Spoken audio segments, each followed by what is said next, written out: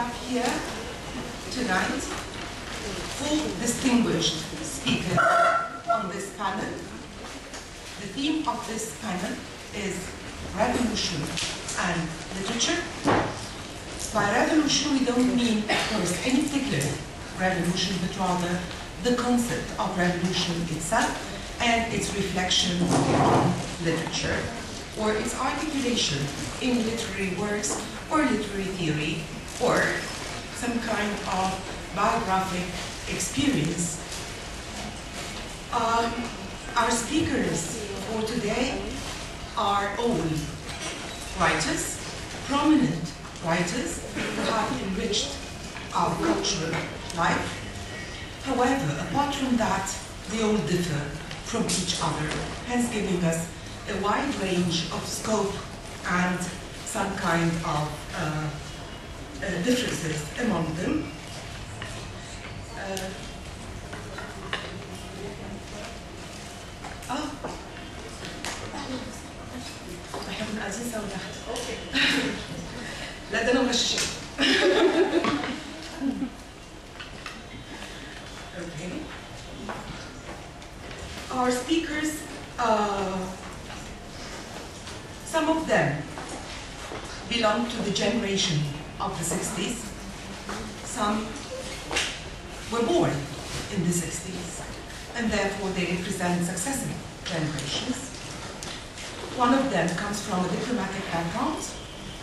Another one is a literary, is a literary critic. The third one is a journalist and a professional uh, creative writer.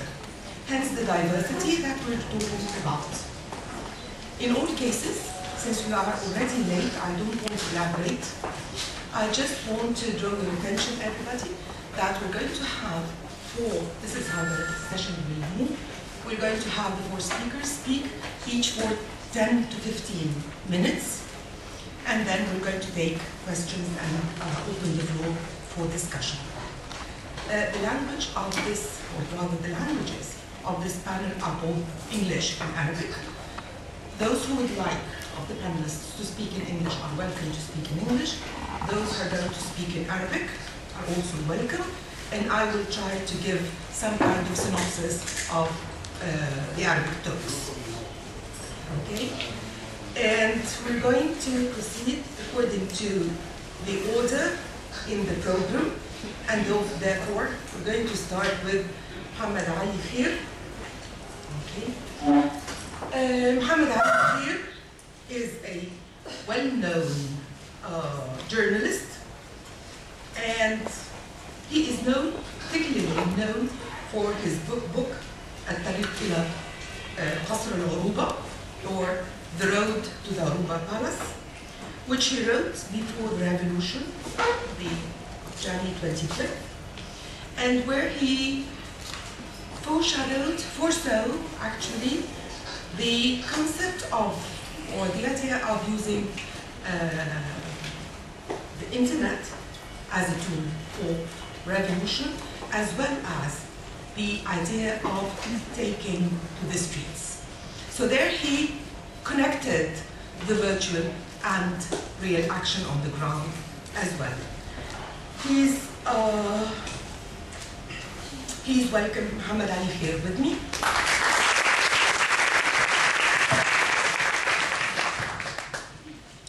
سنة وحضراتكم بخير أولا. خلوني في البداية يعني أشكر القائمين على أمر المؤتمر ده إن هم مطلوبين الدعوة إن أنا أتواجد بين حضراتكم. ربما الواحد يحضر مؤتمرات أقرب إلى أن تكون صحفية، أكون في قصور ثقافة جماهيرية. آه لما سألت طب الاستعداد لمؤتمر زي ده آه هيبقى محتاج بيبر كاتب وكده قالوا لي يفضل علشان ممكن نحتفظ بالبيبر دي وتبقى موجودة في ملحقات المؤتمر. أنا التزمت وكتبت الكلمة بتاعتي بس أنا آه عايز أقولها معاكم وجها لوجه بعيدا عن إن أنا أبص في ورقة وأتكلم بلهجتي المعتادة العامية. خليني أرجع لعنوان المؤتمر الإبداع والثورة. لما عرفت اسم المؤتمر أو العنوان ليه كنت سعيد بيه. ربما ده كان فتح لي فكرة الواحد هيتكلم في إيه. يعني معروف إن الثورة أساسا فعل إبداعي. آه، ما بتاخدش طرق تقليدية علشان تقوم. آه، عايز أتتبع بقى مع حضراتكم في الكلمة بتاعتي. الإبداع من أول الثورة ما بدأت لحد النهارده. وقف فين؟ والنتيجة لما الإبداع توقف إيه اللي حصل؟ الثورة أول ما بدأت آه، كانت في مفارقة عجيبة جدا إنها كانت معلنة. ده جزء من عبقريتها وابداعها كان معروف إن الثورة هتقوم. اليوم الفلاني في المكان الفلاني والداعي ليها فلان الفلاني. أو مجموعة. ما كانش في أكتر من كده عبقرية وإبداع. والنظام كان عارف يعني كان عارفين الثورة هتقوم إمتى وفين ومين الداعي ليها المفارقة إن رغم كل معرفة النظام السابق بكل هذه المعلومات لأن الثورة نجحت. ده جزء من إبداعها. الجزء الثاني إنها ما خدتش طرق تقليدية. إن أحزاب آه، ليها خلايا أو تنظيمات في المحافظات تقوم تهيج جماهير وعمال وفجأة الشعب ينزل ده لم يحدث. استخدمت مواقع التواصل الاجتماعي الفيسبوك والإنترنت إلى آخره والنظام السابق كان عارف ده وكان بيسمي الداعين اليها خليهم يتسلوا دول عايشين في عالم افتراضي. أذكر إن أنا التقيت باثنين من كبار قادة النظام السابق كانوا أعضاء في مكتب الحزب الوطني أول آه، البرادع ما جه في فبراير 2010 وقعدت ادردش معاهم هل البرادع ده عامل لكم مشكلة أو قلق؟ مش خايفين يهيج أكتر من الجماهير؟ الناس في حالة حنق وغضب؟ كان ليهم تعليق جميل. قالوا لي ده الراجل عايش في عالم افتراضي. فرحان ب 150 ألف واحد آه، آه، بيشتركوا معاه على الفيسبوك. لكن ده كله عالم افتراضي. اسمحوا لي أرجع بسرعة لكتاب ليا أنا نشرته قبل الثورة، الثورة قامت في 25 يناير، في 8 يناير اتطرح لي كتاب في السوق اسمه آه، الطريق إلى قصر العروبة، أعتقد العنوان مباشر ودال يعني هيا بنا نسقط هذا النظام. ودارت حوارات مكثفة جدا بينه وبين معارضين للنظام السابق وبينه وبين قادة في النظام نفسه. يعني كنت عمال أتساءل بينه وبين نفسي وده كان سؤال طرحه في الكتاب. هو هذا النظام الفاسد الدكتاتوري ده هيقع إزاي؟ يعني الواحد يعمل فرضيات يعني. لما تحاورت مع المعارضة ما كانش في دماغهم بالمناسبة انسوا بقى كل الكلام اللي بيتقال يعني وده مسجل حتى موثق في الكتاب ان إحنا كنا بنستعد لثورة وإسقاط نظام كل الكلام ده كلام فضائيات زي ما بيقولوا. لما تحاورت في الجهه المقابله النظام السابق فكان السؤال تفتكروا أنتوا شايفين مكمن الخطر يجي لإسقاط هذا النظام إزاي؟ كانت حوارات ممتدة منهم بعض أساتذة أكاديميين التحقوا بالنظام السابق وتولوا فيه مناصب كبيرة وناس بتخدم في النظام بقى لها 40 سنة. نقلوا لي على لسان مبارك جملة أنا فاكرها ووثقتها في كتابين يعني الجملة الأولى إن مبارك عندما كان يجتمع بكبار قادة نظامه كان يشير إلى يده اليمنى ويقول طالما الجيش معايا هنا والشرطة معايا هنا أنا مش خايف. المهم أنا مش بقول كلام على لسان قادة النظام أنا بقوله مع حضراتكم لأ أنا بقول لحضراتكم هذا أنا ما نشرته في آه، كتابي آه، الطريق لاسر العروبه ثم بعد ذلك انتظار واقع. طب يعني ما فيش أي خوف يعني أنتوا متأمنين كده ومطمنين ولا الهوا. فدخلت في حوار تاني قلت لهم طيب ماذا لو نزل عدد من الشباب لميدان التحرير وقعدوا فيه كام ليلة ورا بعض؟ مش ده ممكن يعمل مشكلة ليكوا ويهز صورة النظام؟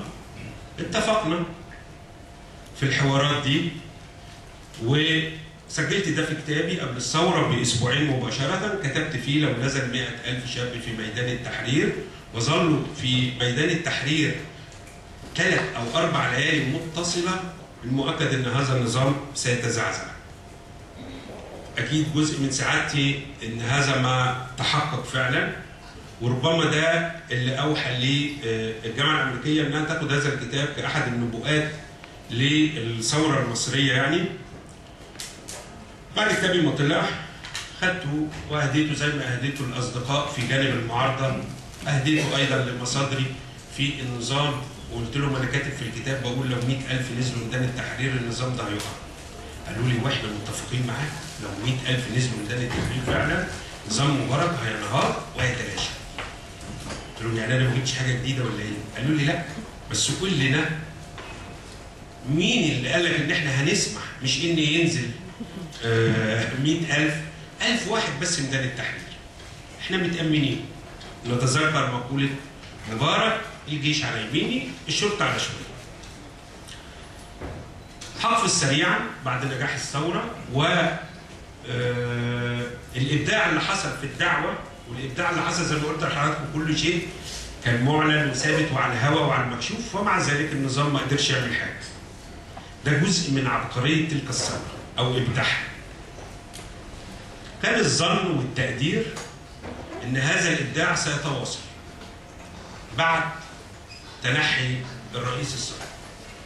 لكن اللي هيرصد سريعا سيجد إن الإبداع في الثورة أو القائمين أو الداعين للثورة الإبداع ده توقف يوم 11 فبراير. يعني في 18 يوم تلك الثورة البديعة العمل الوطني الرائع ده حققنا فيه الهدف الأول للثورة. أي ثورة ليها هدفين، هدف أول إسقاط نظام، هدف ثاني بناء نظام. الإبداع حققناه في الهدف الأول تجاوزا يعني إسقاط النظام بس لما جينا نبني النظام الجديد ما كانش فيه ابداع. من تولوا أمر الفترة الانتقالية خاصموا الإبداع وتحركوا بشكل كلاسيكي. يعني المفروض بما إنكم بتديروا الفترة دي كده السنة ونص تسيروا حتى الفكر الإبداعي اللي أنتجته الثوره لكن دي بقى لظروفهم سواء المهنية الفكرية الظروف السياسية المحيطة. فاختفى الإبداع في الفترة الانتقالية والنتيجة أن مصر الآن تحصد غياب الإبداع في الفترة الانتقالية. غياب الإبداع في الفترة الانتقالية. فما نعانيه الان هو توقف زخم الإبداع.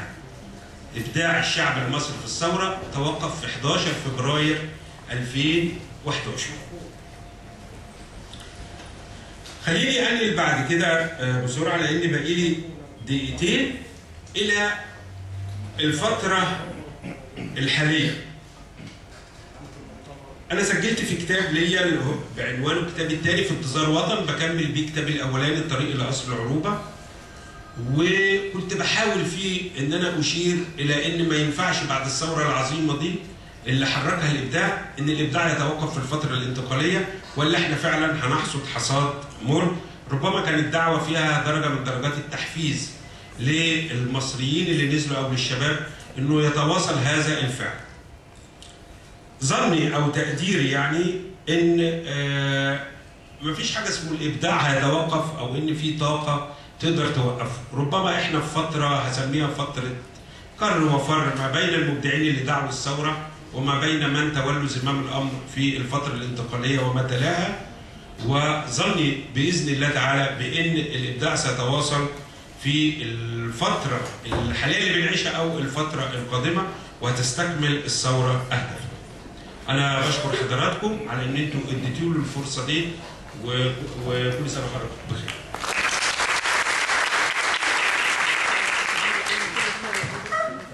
شكرا جزيلا أستاذ محمد علي خيرة على وجهه نظرك وعلى التزامك الشديد بالوقت أحييك طيب I will give you uh, some kind of quick idea about the talk that uh.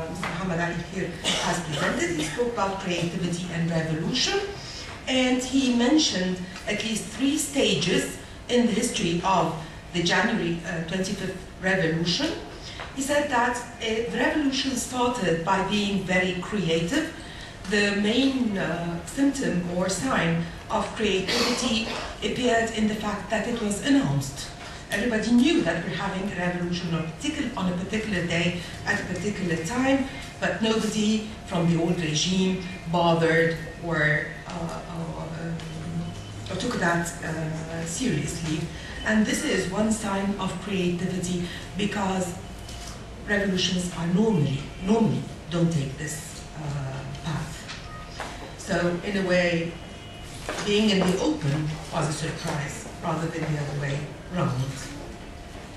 The second um, symptom of creativity that, that appeared in this revolution is that while the old regime was thinking of cells and, and conspiracies as the tools of and mobilizing people as the tools of traditional revolution, the people used social media and the virtual world as opposed to the real world. And hence again, in spite of announcing the revolution, they still surprised the regime because it did not expect uh, this. Okay? Then um, Mr. Muhammad Ali Khair uh, took us into a dialogue that he constructed before the revolution with the old regime. Okay? Uh, he asked some members of the old regime and I'm afraid academics who helped the regime. okay, not very comfortable with this word, but okay. okay. He asked them whether they were comfortable, whether they think a revolution can take place or uh, not, and they all referred to a statement always stated by the ex-president or the ousted president. He always said, as long as the army and the police are with me, I have no fear. Then the conversation went on, said that what happens if people take to the streets? If a 3,000, I can't remember the figure, okay, a large number of people take to the streets, and they said, we will not even allow 1,000 people to be uh, there, okay? So they were very strict and firm on not allowing people uh, to take to the streets. Okay? So far, this was the phase of creativity, the initial phase of creativity that, that revolution took, and hence, according to him, it was successful. That creativity lasted for the first 18 days until February 11th, and at that point in time, creativity came to a halt. It stopped. It stopped because it could dismantle the system, but it did not exert itself, rebuild a new system using the same uh, methods of untraditional, revolutionary, creative ideas and thinking. Nevertheless, the third phase that he anticipates is a phase that will come in the near future and which he discussed in his new book entitled Waiting for a Homeland, okay, where he argues that creativity is something that can never stop. And if success is uh, linked to creativity and creativity cannot be stopped, therefore we have every uh, reason to have what Bill Ashcroft told us this morning, hope in the future. So this is the gist of the talk for those of you who would like to engage with the discussion later on.